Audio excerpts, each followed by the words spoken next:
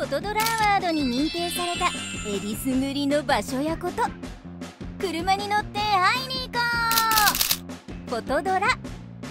この番組は鹿児島県モールトヨタの提供でお送りします。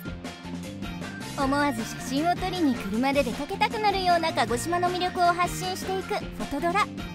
ナビゲーターはトヨタレンタリース鹿児島国分駅前店。週1でゴルフコースへ出かけるという海老笠子さんです。今回は涼しさを感じられる場所ですよ。いってらっしゃい。認定地がある総市宝部町へ向かいます。ドライブ途中ちょっと寄り道。自然の中におしゃれなカフェですね。すごいですよこの分厚さ。美味しそう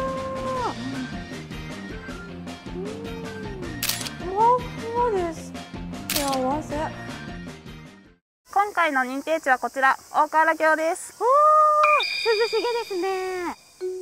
層の魅力を楽しめる景勝地大河原峡緩やかな清流からダイナミックに流れ落ちる滝まで変化に富んだ層の大自然が凝縮された場所です。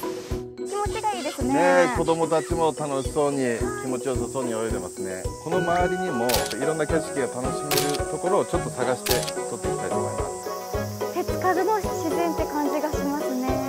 こんなディープな場所があったなんて。こういう水の流れとかね光が反射して分かりやすいから面白いですね。そうだ。上流と下流でこんなに表情違うんですね。高めに撮ると岩と岩の間隔が広くなるので岩の形は分かりやすくなりますね。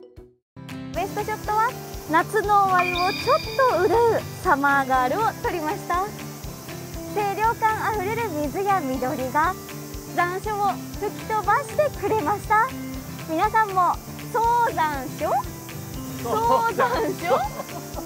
面白かった。涼しくなりましたうん涼しくなった。涼を求めて大河原峡のダイナミックな自然で残暑を吹き飛ばしてください。今回の旅のお供はこちら CHR でした SUV ならではの爽快な走りとスタイリッシュな外観は夏のドライブにぴったりです。トヨタレンタカーなら人気のトヨタ車を多数ラインナップしています。ぜひご利用ください。映えるを撮ろう。車と行こう。この番組は鹿児島県モールトヨタの提供でお送りしました。